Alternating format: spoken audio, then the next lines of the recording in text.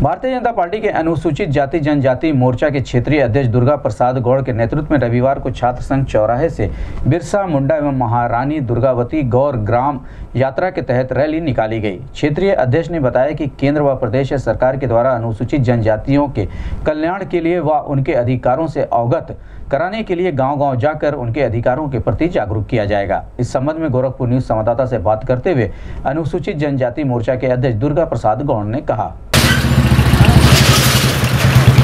Get satisfied.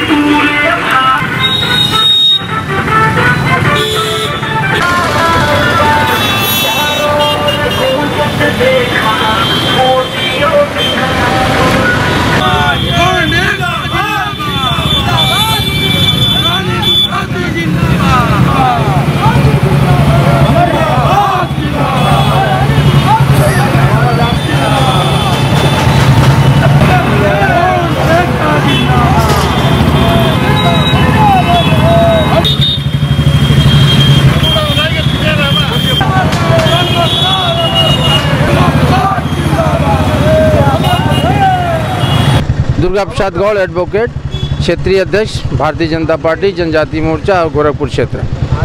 ये Bharatiya Janata party अनुसूचित जनजाति मोर्चा उत्तर प्रदेश के निर्देश पे गोरखपुर क्षेत्र में अनुसूचित जनजाति मोर्चा के दुर्गा प्रसाद गौड़ एडवोकेट जो क्षेत्रीय अध्यक्ष है, की अध्यक्षता में ये रैली निकाली गई है। ये भगवान बिरसा मुंडा एवं महारानी दुर्गावती ग्राम यात्रा और गौरव यात्रा की है ये।